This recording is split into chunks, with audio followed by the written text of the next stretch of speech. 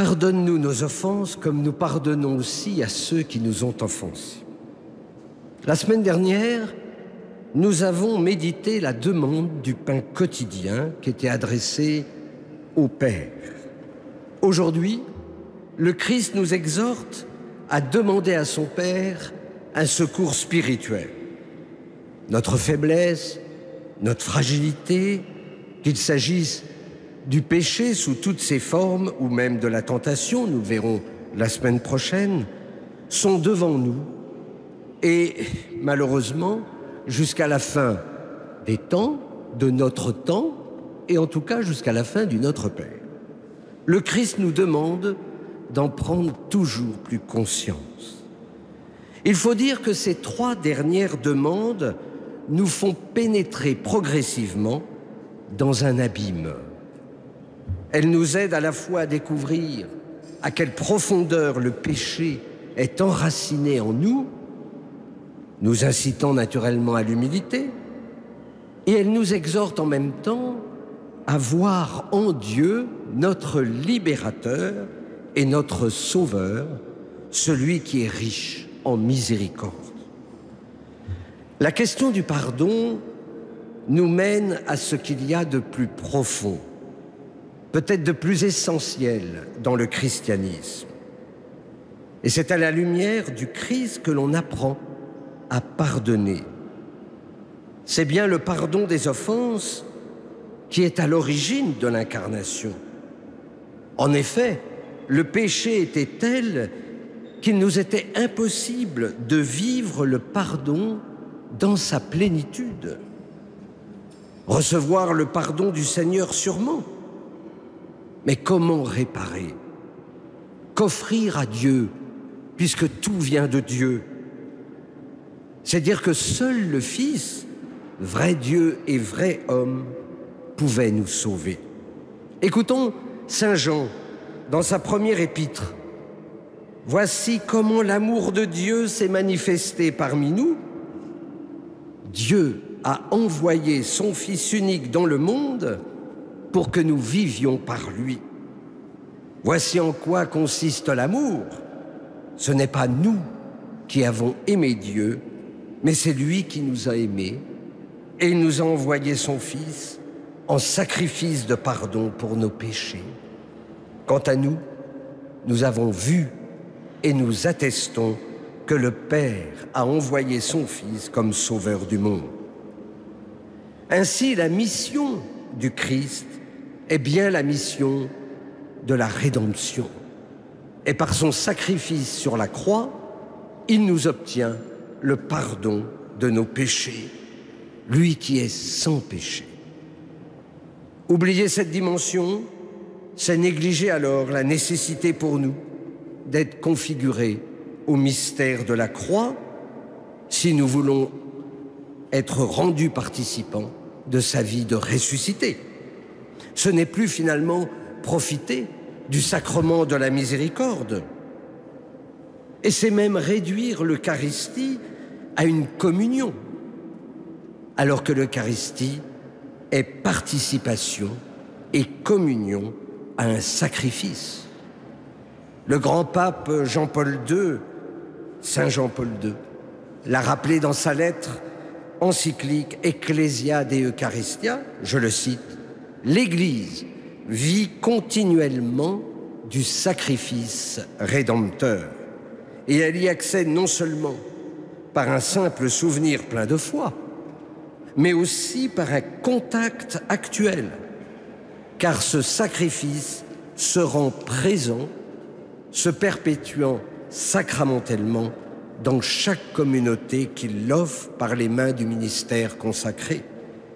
Le sacrifice du Christ et le sacrifice de l'Eucharistie sont un unique sacrifice. Mais revenons au péché de l'humanité. Quel est ce péché? Le péché d'Adam. Eh bien, c'est se prendre pour Dieu. C'est tout simplement jouer à l'apprenti sorcier. Se mettre à la place de Dieu et proclamer même la mort de Dieu. Ce péché, il remet en cause le salut. Et c'est pourquoi seuls, nous ne pouvions pas réparer ce péché.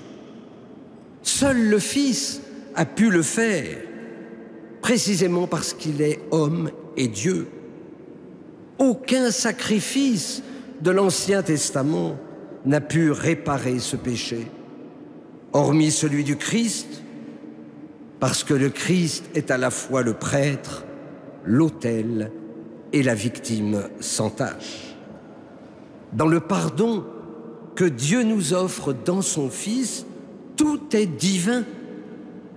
Nous touchons à l'absolu de l'amour.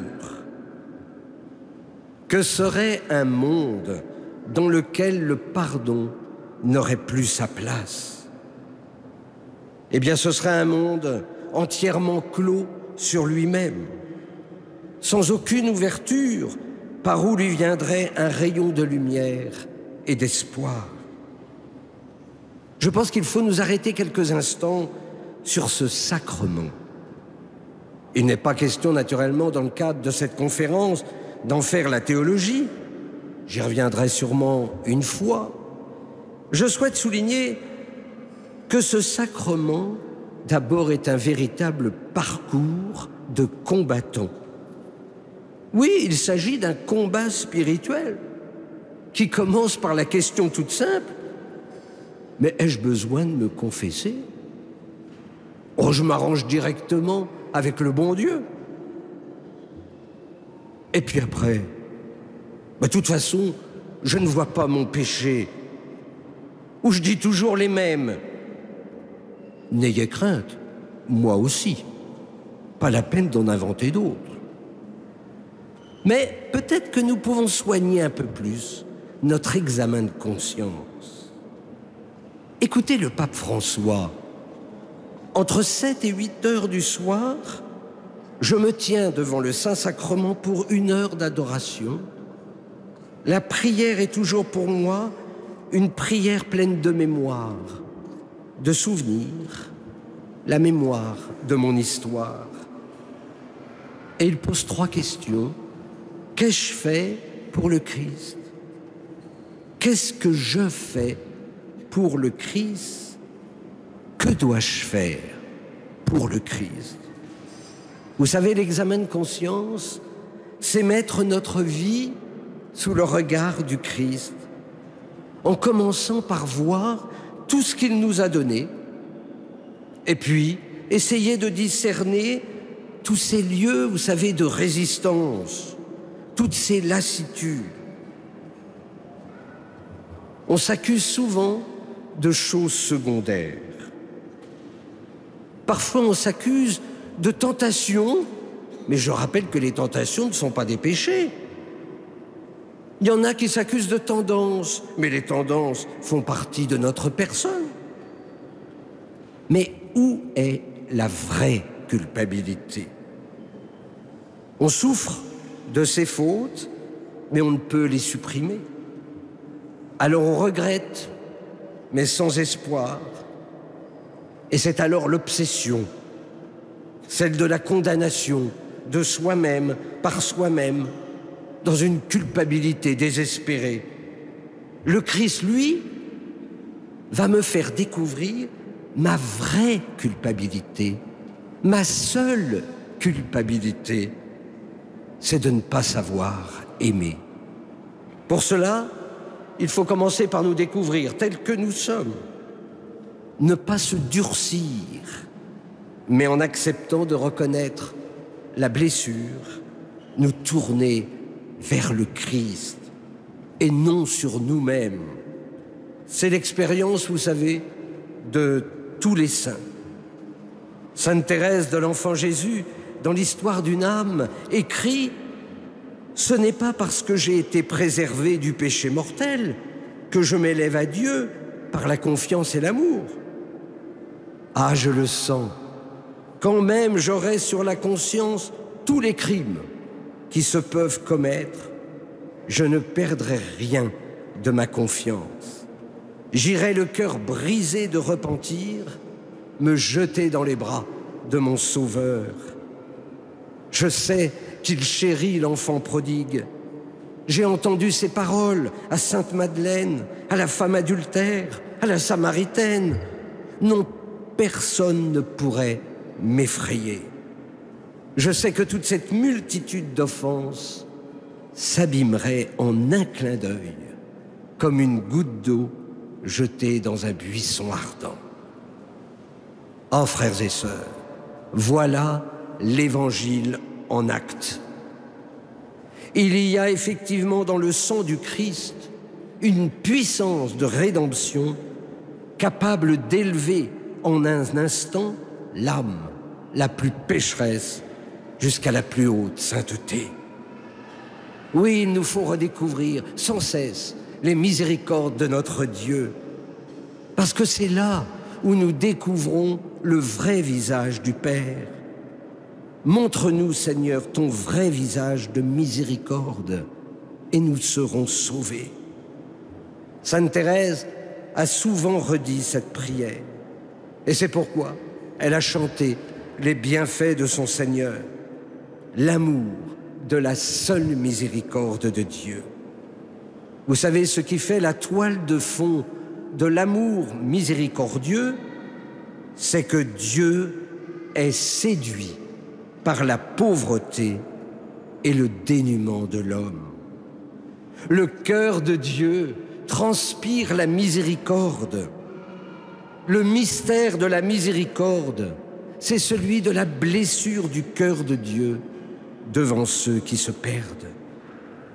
En revanche, si sincère et si surnaturel que soit notre pardon, il ne lave pas de son péché l'âme de notre frère.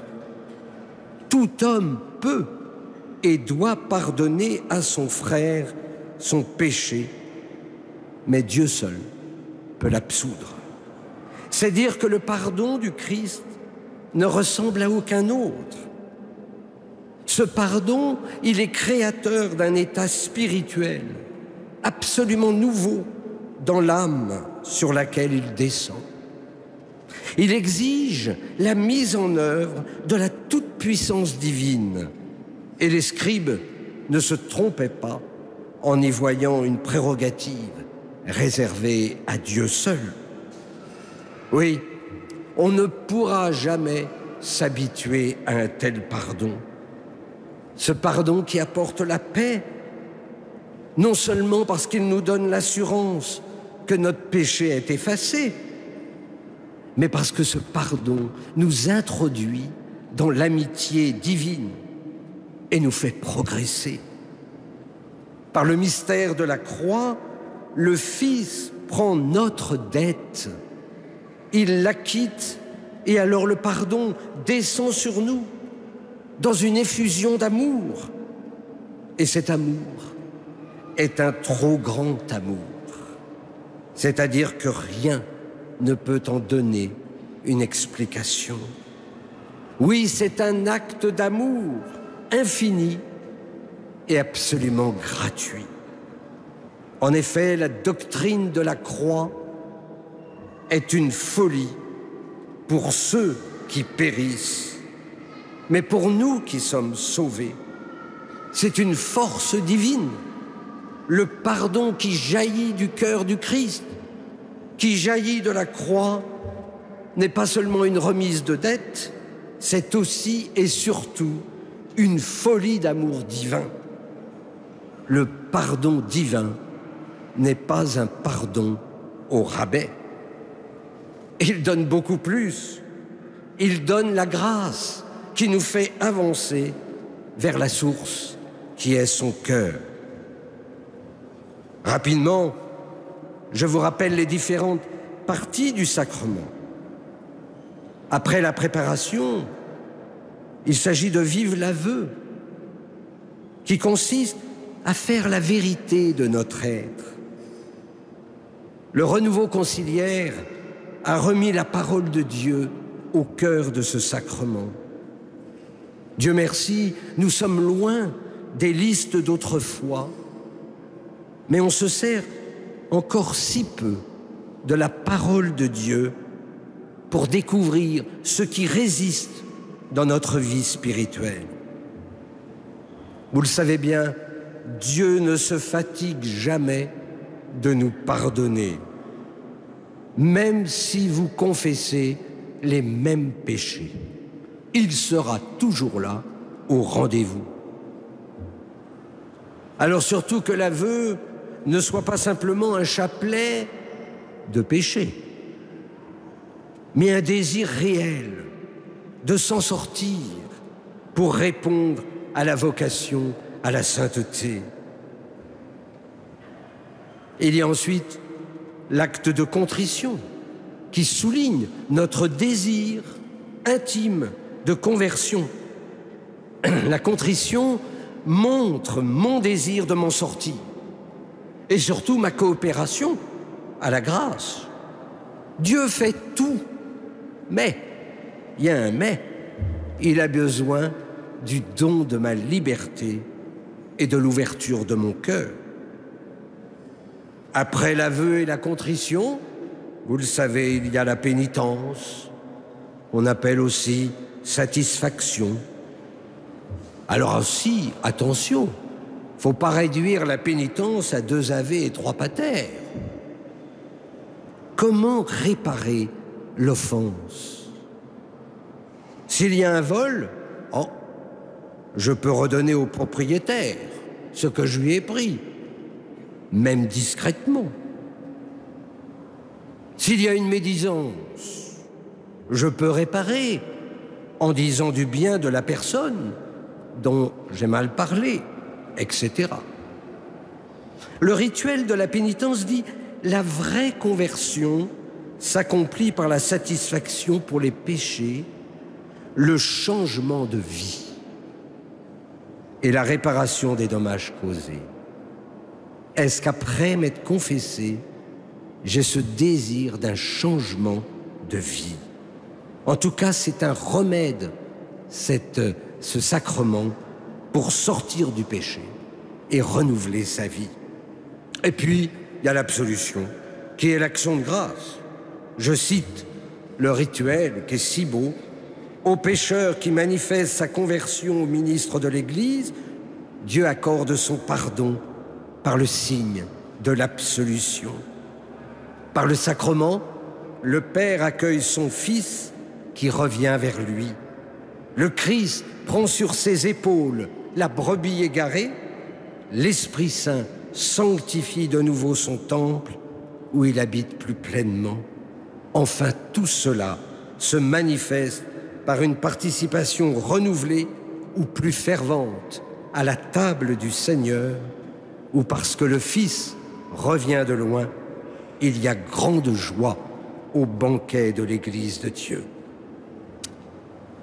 Il est temps maintenant de voir la seconde partie de la demande du Notre Père.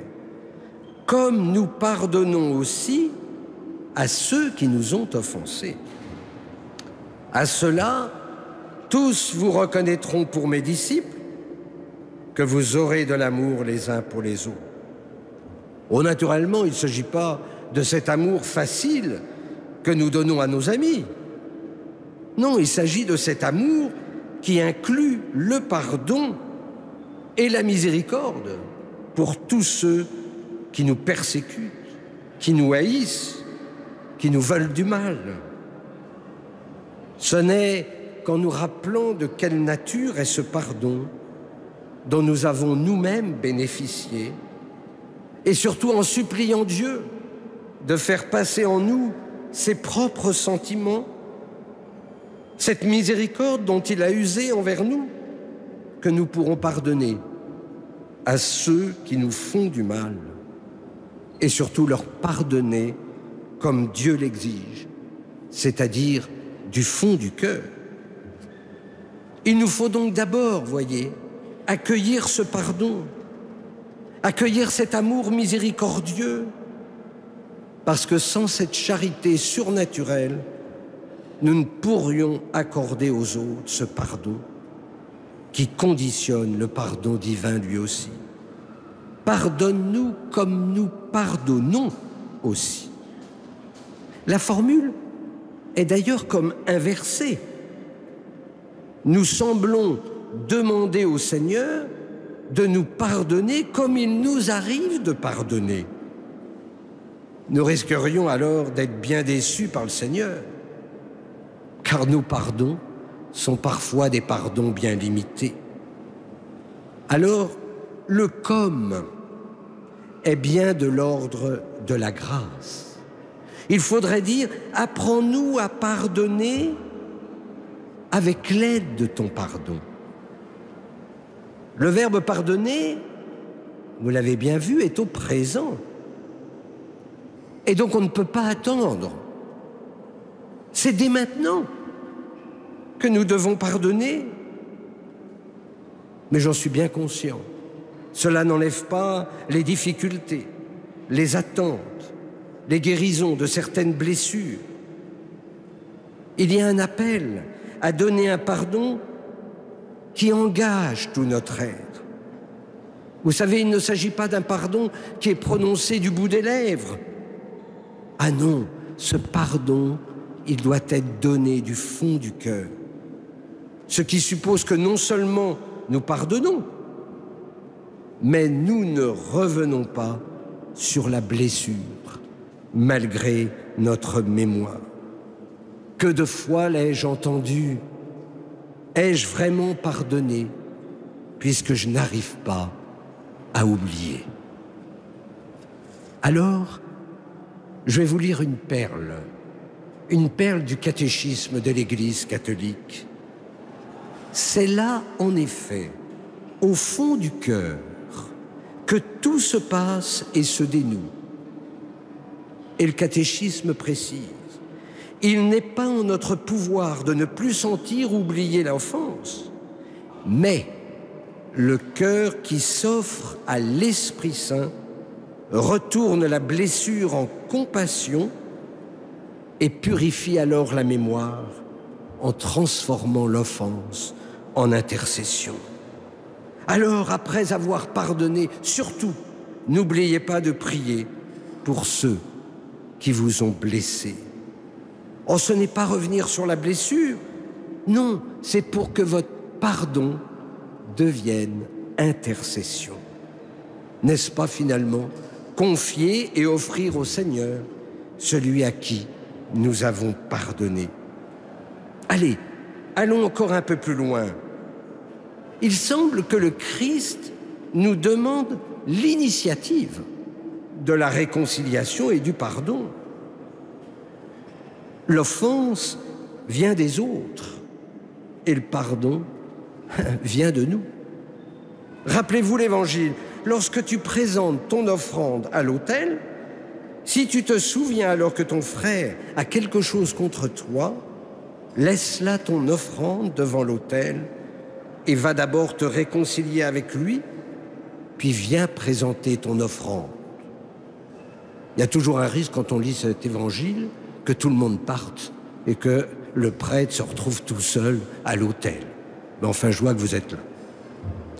Si ton frère a quelque chose contre toi, la formule est volontairement vague. Elle peut tout aussi bien signifier que notre frère nous en veut, pour une offense qui serait notre fête, ou que nous le savons animé de mauvaises intentions à notre égard, eh bien, il y a une obligation à prendre les devants et d'aller à lui dans un élan du cœur, pardonner et demander pardon. Voilà deux aspects complémentaires. Et si ton frère refuse ton pardon, ah, que de blessures dans le cœur à cause de l'orgueil. Car les deux aspects supposent une grande humilité. Nous le comprenons naturellement pour celui qui demande pardon, mais il en faut autant pour accueillir cette demande en vérité. En effet, la demande de pardon met deux êtres au même niveau, sinon il n'y a pas de réel pardon. Il y a parfois des situations que nous croyons irrémédiables. Alors, c'est alors qu'il faut nous jeter dans les bras de Dieu et lui demander de nous aider à désarmer. Et c'est vrai que parfois il faut du temps, beaucoup de temps. Alors en conclusion, plus nous avançons dans ce commentaire, plus nous risquons d'être affolés.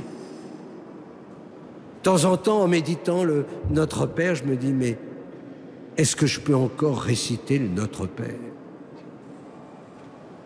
Surtout en plus si vous avez quelques ennemis. Heureusement, et il ne faut jamais l'oublier, cette prière, elle est dite au nom de l'Église. Et dans cette Église, il y a des saints. Et il y a des saints qui pardonnent de tout leur cœur. On a sûrement encore dans l'image le saint Jean-Paul II en train de pardonner à celui qui a failli le tuer. En nous demandant de pardonner à nos ennemis, le Christ exige de nous un amour profond, fort, un amour surnaturel. La charité envers le prochain est pour le chrétien si nécessaire qu'il ne peut se contenter de la pratiquer vaille que vaille.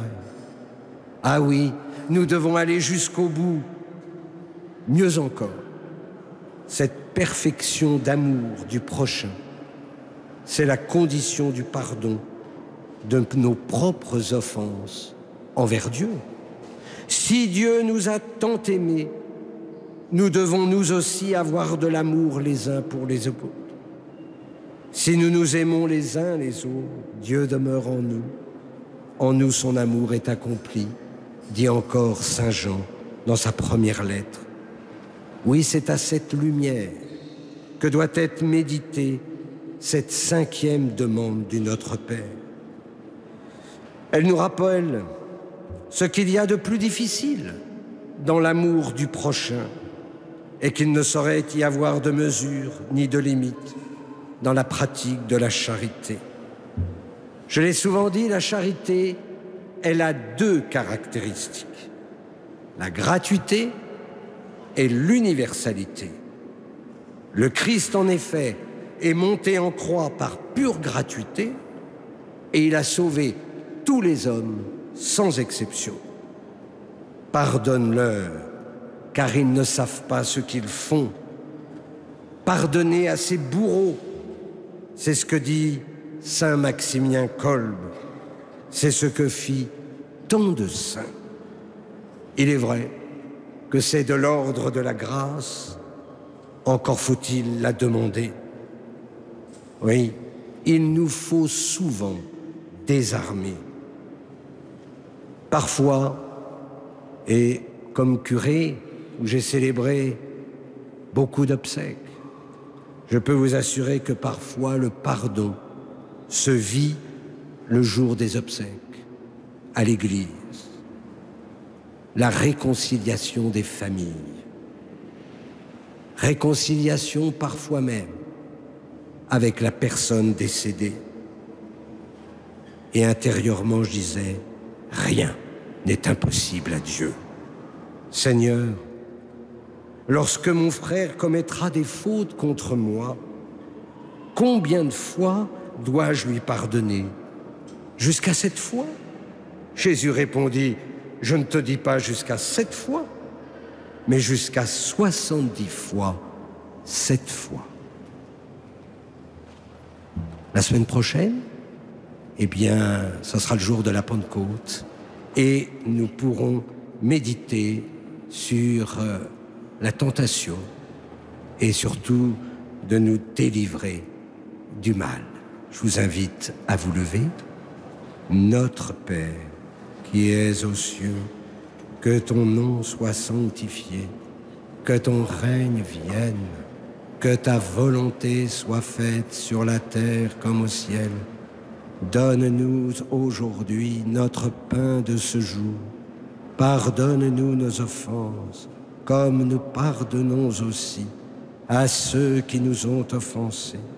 Et ne nous soumets pas à la tentation, mais délivre-nous du mal. Amen. Et que Dieu Tout-Puissant vous bénisse, le Père, le Fils et le Saint-Esprit. Amen. Merci. Donc à la semaine prochaine, à 17h, si vous êtes à Paris naturellement, sinon par KTO. Vous avez vu, parfois